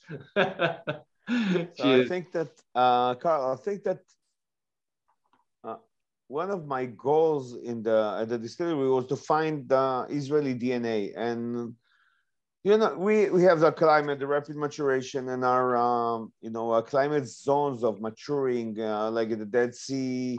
And now we have another one at the desert the mountains of jerusalem. And we have one um, uh, one uh, warehouse at the sea of galilee which is it's going to be beautiful because it is 200 meters below sea level but still uh, very humid unlike the dead sea. So we are playing with the terroirs of Israel. But one of the DNAs of Israel is the pomegranates. And we are eating a lot of pomegranates. We drink a pomegranate juice. It's, it's a part of our ceremony in the Jewish New Year's to eat a lot of pomegranates.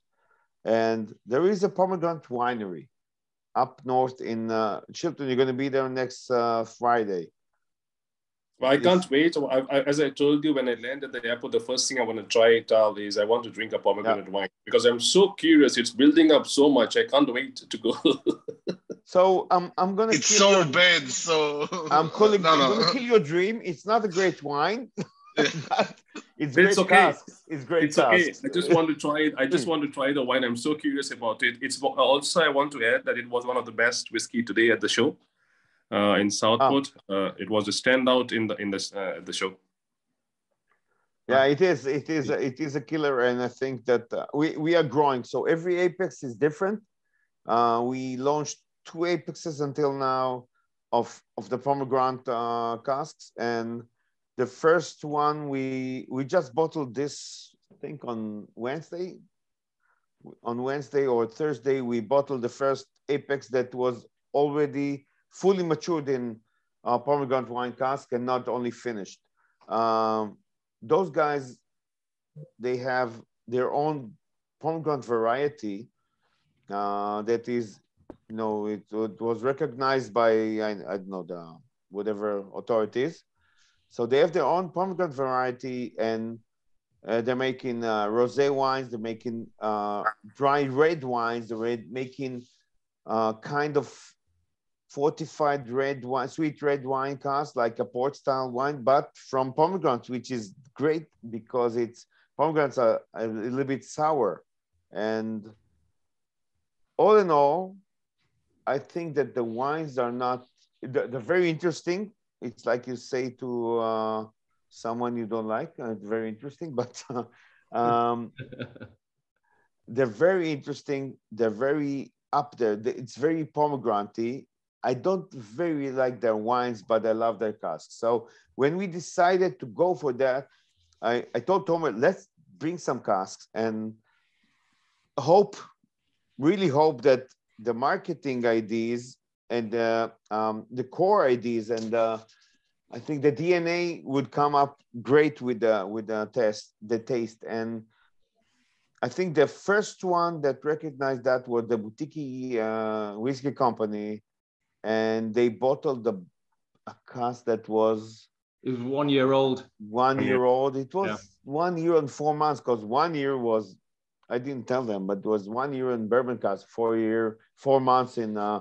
in uh, finished in uh, in um, a pomegranate cask, and it was crazy. It was a beautiful cask, and then we just everything we popped as an apex so it was two editions until now, and then another edition now, sold out in a second uh, from our side. You know, uh, so I think that this is so different, and you get some sweetness and you get some sourness because of the pomegranate, and it's it's a different kind of whiskey, and we are so happy uh, that you can taste us uh, this this yeah. kind of apex, guys. So uh, cheers, and I'm gonna pour myself one.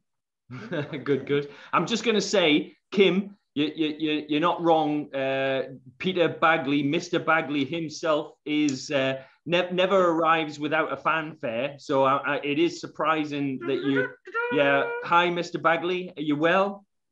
Yes. Good, good. Excellent. Glad you could join us. Um, I just wanted to kind of ask, uh, and I think Tal, oh, I thought you'd frozen there for a second, but you're not. Um, Tal, just out of interest, you mentioned that you're, you're, you're, you're playing around with different locations for maturation. Um, are, are you able to kind of pick out precisely what difference you get from the different sites in terms of the maturation? I mean, what are you aiming to get out of each site? Um, yes, of course. So until now, uh, aging was mostly in Tel Aviv. So uh, Tel Aviv's Mediterranean uh, variety, Mediterranean, sorry, Mediterranean uh, climate. Um, the distillery is the, the our um, distillery and uh, the warehouses is around four minutes, five minutes, six minutes walk from the beach. It depends how, how fast you walk. But um, so that means that it's very humid, very humid, uh, very hot uh, in the summer, and winters are more dry. And but still, winters in Israel, and this is winter now. It was 20 degrees today, but uh, I think it's uh, it can go down in Tel Aviv to around seven degrees. Uh, never snows here. Jerusalem mountains, uh, we have some casks uh, around there, but I think we've been lying there casks for the last six months, and it was snowing for the last two weeks, and it's just 40 minutes drive from Tel Aviv. So you can still go to the beach in Tel Aviv, you can still drive to 40 minutes to Jerusalem, yeah. not ski, but you can play with uh, with the snow. And the casks are closing in Tel Aviv; they're spreading. Uh, by the way, in Tel Aviv, because of the humidity in the summer and the dryness in the winter, um, so sometimes more ABV goes evaporating and, and sometimes more water. So ABV is changing and uh, Angel is, is different. Angel share is different. So, yeah. and and then again, we talk about the Dead Sea. Dead Sea is around, if we talk about in Tel Aviv, it's around 11% angel share uh, yearly. Um, in the Dead Sea, it's around 25% angel share yearly. Very dry. Air pressure is very high. So casks are almost breaking up and um, lots of minerals in the air we lose a lot of uh, of angel but the wood extract is amazing. Uh, sea of Galilee is just new, so uh, I don't know again, exactly. Again, about the Dead Sea, it's 45 minutes from Jerusalem. So yeah. we talked about uh, Tel Aviv, 45 minutes to Jerusalem. Jerusalem, yeah. 45 minutes to the Dead Sea. It's amazing how close it is, it is yeah. And how different it is. Does that make the, the Sea of Galilee? Yeah? When the bottle, though. So you have to understand that it's when you go up, Tel Aviv is zero elevation. 45 minutes, you're in Jerusalem, 750 meters above sea level. One hour, 45 minutes, you're minus 430 meters below sea level. So this is just one um, two hours drive. Uh, sea of Galilee, uh, the casks are new there, so I, I can I can't tell you about. Uh, it's it's yeah. kind of new venture.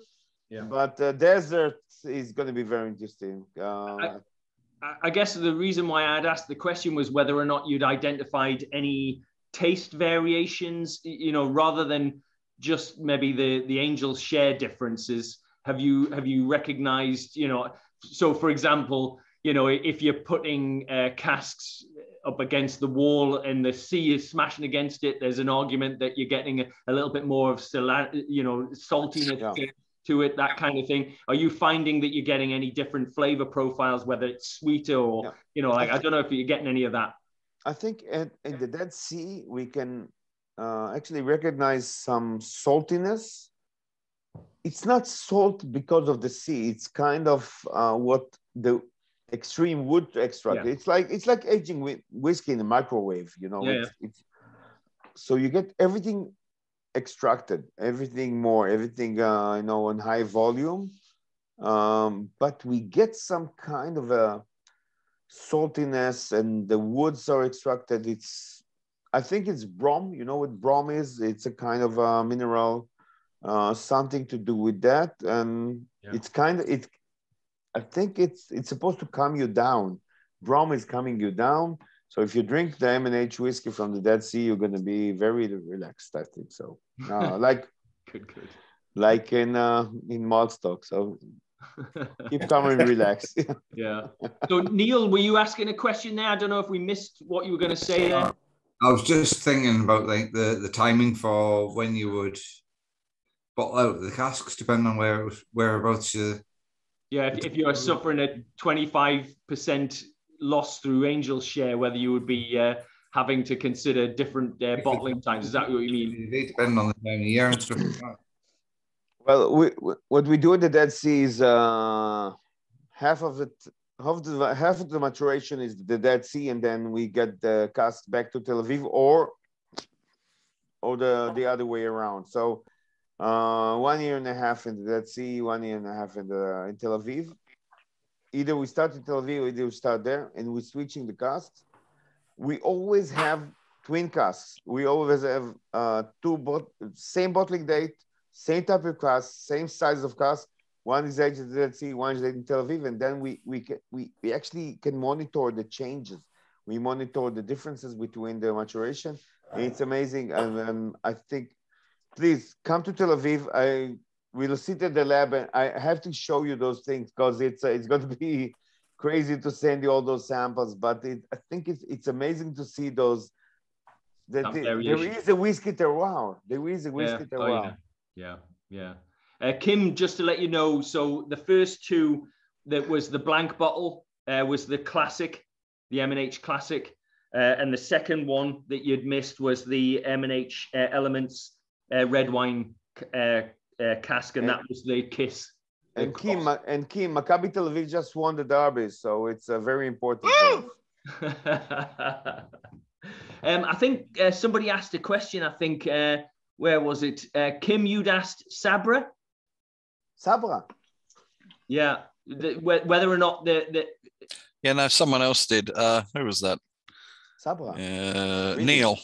Oh, it was Neil. Sorry, yes. Yeah. Sabra. I was, I was just having a Google about um, various fruits and stuff in Israel and, and Sabra. Sabra liqueur sounds quite an interesting. Sabra's, uh, if I remember rightly, it's very orangey and very sweet.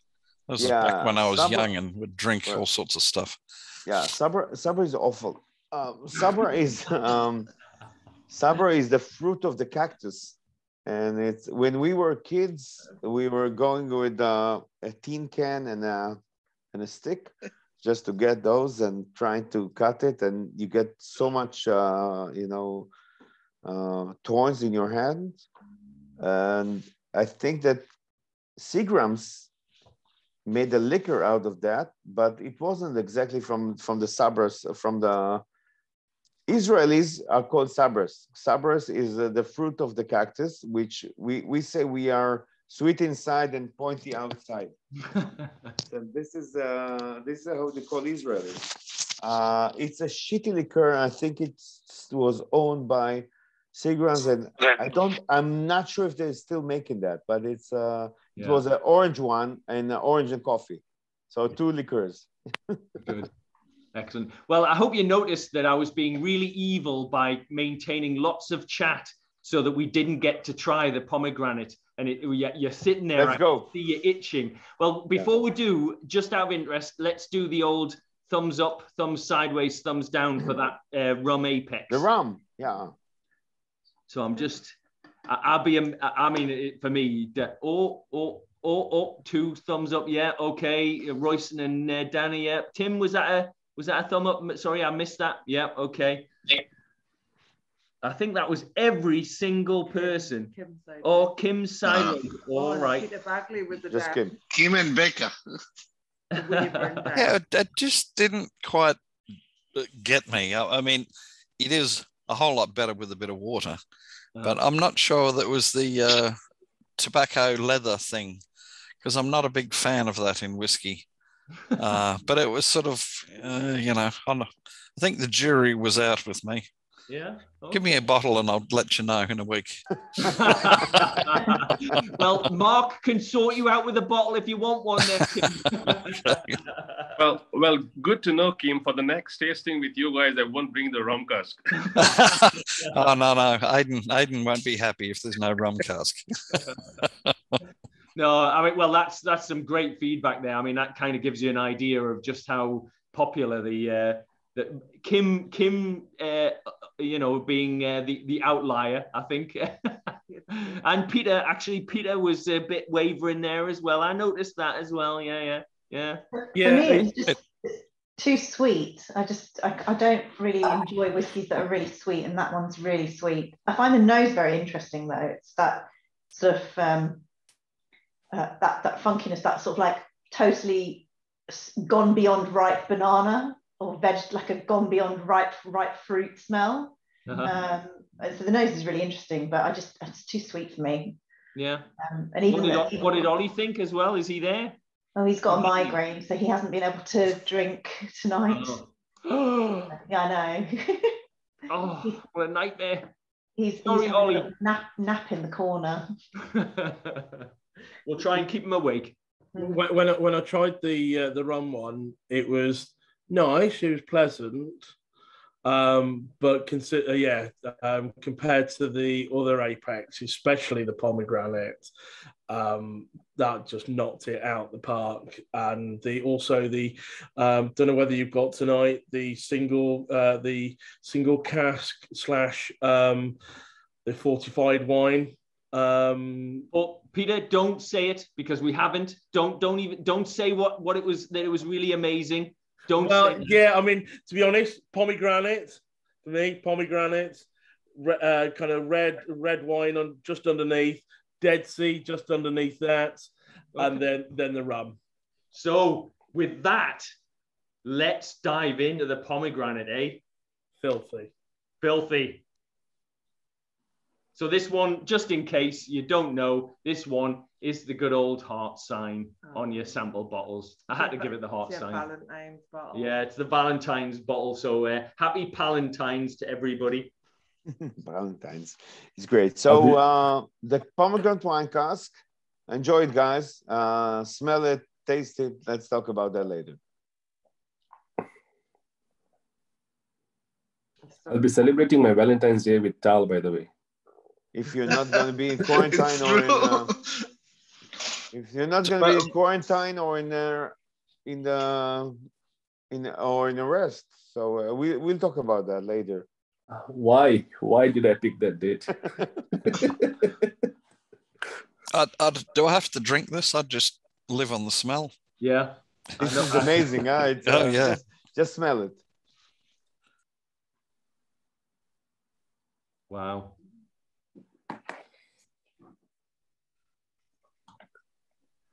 And it's crazy. You you have to come to you, next time, Carl. I'm gonna send you some bottles of uh, those wineries from uh, the pomegranate wineries because it's it's amazing just to see the resemblance. But I think that's it's crazy just uh, to see because we we know a lot of pomegranates. We we eat a lot of pomegranates, and and it's I, I can see the trace of those tannins and the tartness but again, it's the sweetness, and it's I think it's it's a beautiful whiskey.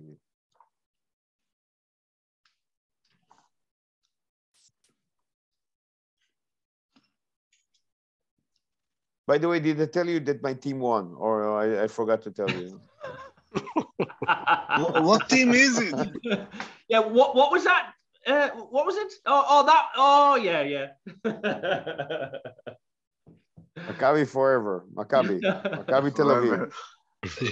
was it the new player that? Uh... Uh, after Manchester United again today. So yeah, yeah, yeah, yeah, yeah. no, uh, what are you laughing about? Shilton. so, what's everybody thinking of this then? Because uh, I'm getting from the silence uh, that you're all diving into this with uh, with both feet. that didn't quite work, but you know what I mean. I think the silence is like when you serve dinner and everyone's going, "Oh wow," and eating it. Yeah.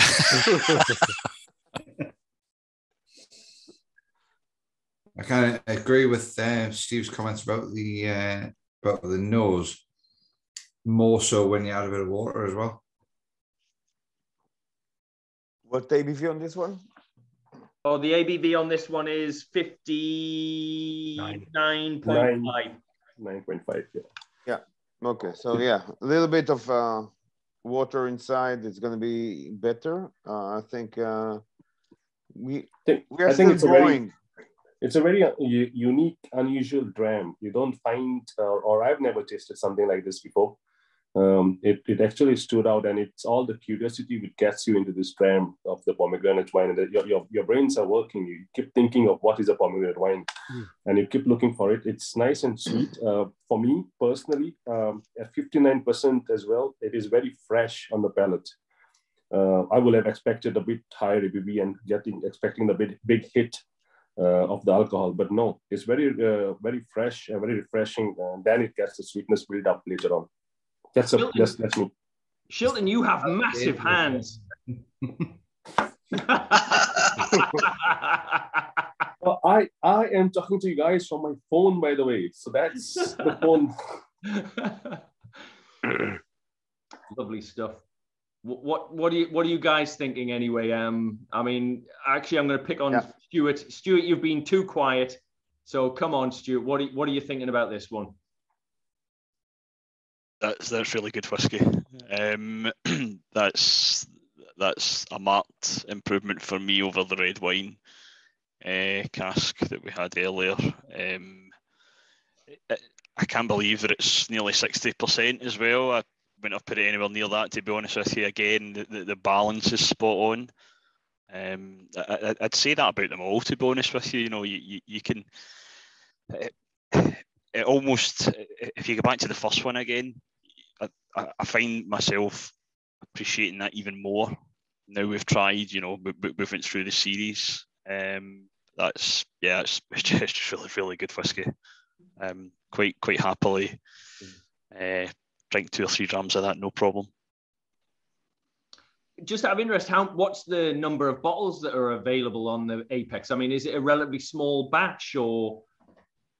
Yeah, uh, most of the it's all small batches. Uh, it depends of the of the release. It depends of the expression, but I, I don't remember It's, this one. it's mentioned. It's mentioned on the bottle, Carl. I think this one is about four thousand bottles or something. It's mentioned on the bottle. Even less, I think even less. Yeah. Um, Is so it this batch eight? If this if this is batch eight, I think it's two thousand five hundred and seventy. Yeah, it is About eight. that. Approximately. Approximately. Approximately. I ne- never believe Tomer. You know, it's. Uh, Yeah, yeah, two thousand five hundred and seventy to be precise, according to the bottle. So it's batch eight. Okay. and another twenty that we need to drink. So This is this like is that. this is this is your third tasting, Callum, right? No, no, this is the first. We've never had any milk and honey ever before, as well, you know. Four hundred and twenty-nine. Um, so am I, shall I pick on somebody else? Uh, actually, Mark from the, the the little whiskey shop. Have you had this yourself? What's your view of it? If you have, I haven't. I got sent um, a whole load of the Apex, but not the two you got, unfortunately. So I haven't tried them. I have tried the uh, the Disney. I've tried the um, the, con- the cognac cast and the sherry cast ones, and I, I, yeah, they are lovely. Um, you know, I, I think they're they are cracking whiskies, which is why I was more than happy to get them into the shop. Um, and I will be getting yeah, carry on supporting you massively because I think uh, you're producing some really good whiskey. Although it's young, it's you know it's maturing much quicker. Same with the you know the Paul John and the rest of it. Um, so yeah, big thumbs up for me. good, good, good. So well, that was a that was a subtle hint that you might want to send me some of the pomegranate and the uh, rum cask. so um, Chris Chalk, do you want to dive in with what what what did you think of this one? Um, I'll start with the rum. Actually, I love the rum. The pomegranate less so. Actually, it, it's Oh, probably right. my probably my poor form of fruit, but I'm getting real blackcurrant notes, which just aren't working for me. But um, look, I love the fact it's it's it's it's doing so well in the room. I think, uh, but the rum phenomenal. Yeah. Also, the rum would be is would that be your favourite of the night? Yeah, by some distance. Yeah, the pomegranate. Look, it's interesting. I love any kind of creativity in whiskey. Um, just wasn't for me. Yeah, yeah, yeah. Actually, just out of interest, if, if anybody wants to put in chat uh, what their views were in terms of their favourite down to their least favourite, uh, by all means, just share away uh, what you thought, and then we can get a rough idea as to which we thought out of the group was their favourite. Uh, actually, yeah, that was a good question, Peter. How much was the is the uh, pomegranate apex mark? It's ninety two. I was just working out what that is with your discount. Um, All right. ninety two for us. I think the, I think the RRP is about ninety five. Right. Fifty with a discount worked out. Yeah. This this was definitely my favourite. I think tonight. Um, and it, it's funny because it's sweet, but it's not. I didn't enjoy the rum one because it was really sweet, but this I find that there's kind of other things going on. There's a lot of chocolate at the end that kind of um, and fennel, like candied fennel and stuff that balances it out a bit more for me. But what I find really interesting is on the nose, it really reminds me of this drink um, that you get kind of like in Asia called Portolo, which I can only describe as that you don't get it in the UK, but um, it's kind of like Vimto, like this grapey and berry sort of smell on it. Um, and I have never had that in whiskey before as a note, but very grapey and uh, berry like flat cola, that sort of those sorts of things. And yeah, I, I, I really like this. This might well be my second bottle that I purchased this year. Try not to buy any whiskey. this this is this is going to be another one of those. But yeah, I hear you. I hear your pain. I hear your pain but but also actually what's what's really interesting is we tried this at the whiskey sh- so the last whiskey show that we attended in person was the was like uh 29 might have been 2020 was that pre-covid anyway the what the first the last show before covid anyway um and it was kind of like a year or 18 months or something old then the pomegranate cask so this has really come along yeah a lot since then I think. I, I think this feels much more mature than the one we tried in the virtual tasting of. Oh yeah, I think I think I think we we we had our first uh, uh, Zoom tasting, and your first Zoom tasting was together. I think we that we actually did that, and yeah. uh, it was like a one one and a half year old. Uh, mm. pomegranate wine cask. It was actually fully, and yeah, it's it's different. And uh, yeah, with our climate, you know, with our we, we always say that if you take our news in Israel, it's uh, it's 10 years in Scotland. Uh, you get 10 years in Scotland of news that's like you get one month in Israel. So it's it's the same with whiskey. It's, uh, it's look at look at look at look at me and Tal. We look like we are like 40 and 50. We're only 25 years old. Yeah, exactly. exactly. But I have to say, if, if this is an indication of your Gen- I'm 18. I'm 18. By, by the way, I'm 18. I just, I'm celebrating my, uh, yeah, I can drink so much. But if this is an, an indication of the trajectory from what we tried originally of the pomegranate to where it is today, I mean, it was great. It was a standout before, but this is, for me anyway, this is a, this is a big improvement even on that. Uh, so, I mean, hats off. You know, this is definitely going in the right direction. It's lovely. I think you guys were the first to taste that, uh, to taste the, the pomegranate wine uh, cask. And uh, it's great, uh, you know, we're closing the circle now.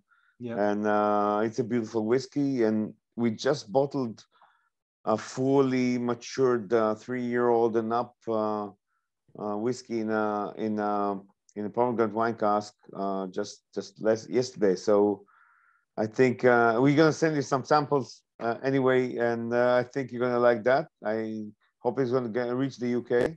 Yeah. But um, it's it's we're always, you know, uh, you guys, your your club and us, it's we we're reaching, you know, we we're growing with the with the pomegranates as well. So uh, brilliant. No, thank you, and and thanks for letting us have a try of some fantastic whiskey. I mean, there's no doubt about it in my view that uh, you, you're going from strength to strength.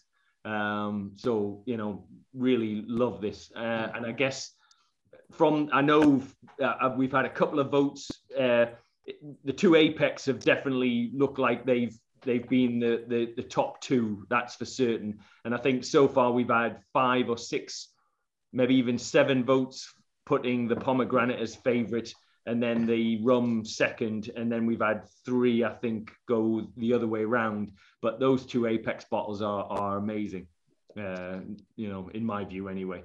Um, did anybody not particularly enjoy the pomegranate? Uh, I'm just curious. Oh, is, or is everybody enjoying it? I think that's every. Uh, so I think everybody's really quite blown away. Royston, how are? Come on, yeah, I can Dan, tell you're itching. Yeah, all right. Well, I was curious. What what Royston? What did you think of it? No, I loved it. Um, I, I mean, I had the Galani pomegranate as well, and I I used to love that as well. So.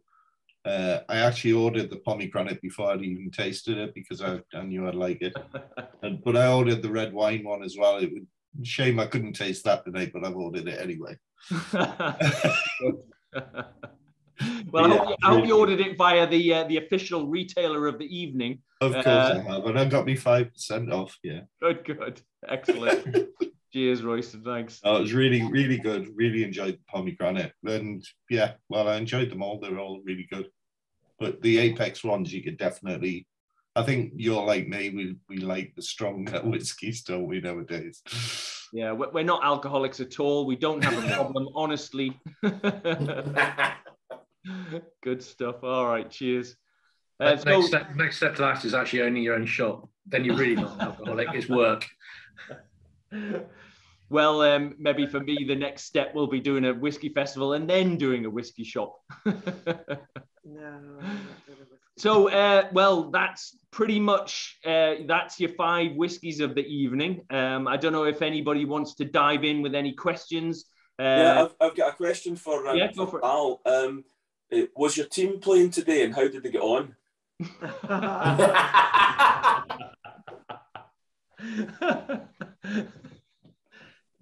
I, th- I, think it was positive. Do you reckon, Callum? Well, maybe was... might, might have sneaked a draw. We, we have a we have a shitty season, so uh, we are third place in uh, third place in the the table. But uh, it was a, a game against Hapoel Tel Aviv. We are Maccabi Tel Aviv. This is Hapoel Tel Aviv, and we hate them. And again, the distillery is 50 meters from the stadium, so it was I couldn't go to work tomorrow, and you know we work on Sunday, so I couldn't go to work tomorrow if we were losing, and a little bit of uh, sunshine in in this season, so uh, it was great. And uh, guys, I thank you so much. It was great meeting you again, and uh, I hope you you enjoy our whiskeys. And I just want to say some one thing. Uh, Israel is open, distillery is open. Come to visit us. Uh, it was 20 degrees today and it's uh, winter. So uh... stop it! Stop it! Stop it! Stop it.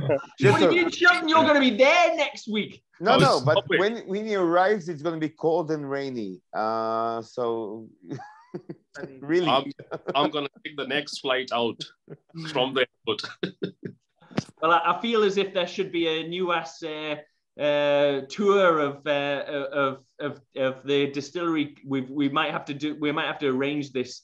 Uh, so yeah, but thank so. you very much, Tal, for joining us tonight, and for Gal and Shilton. I know Shilton, you you're busy as hell uh, at the at the festival as well. So uh, he's, he's, he's, not doing anything. He's not working. He's, uh, but Shilton, it's good to see you again, mate. It's it always is. It is fun whenever you you take part in that. So thank you very much, and Mark as well. Thank you for joining us tonight. I I hope we get uh, some good sales for you as well tonight in terms of uh, you know it's great to support independent retailers. So uh, thank you very much for joining us, Mark, and uh, hopefully we'll get a chance to meet up with you and do some more stuff uh, in the not too distant future.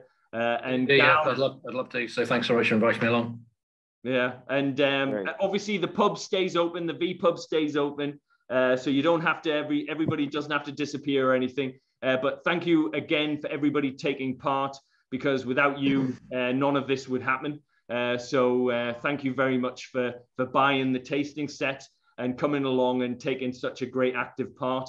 Um, again, I've been on on virtual stuff where you sit there and you're just passive and you take stuff in. Uh, you guys always jump in with both feet and, and let us know what you think, which is which is one of the great things uh, that I, I, love about uh, meeting up with you. So uh, thanks very much, and uh, keep your eyes open for the uh, the Indie Love Fest, which is coming on the 10th of September, along with a bunch of other virtual tastings, by the way. So I'll I'll let everybody know about those as well. Um, so anyway, you don't have to stick around, but obviously if you do, uh, grab a dram if you've got any of yours left. And now the chaos commences. Uh, so dive in, guys. Thanks oh. very much guys, I'm going to say goodbye, good, good night, and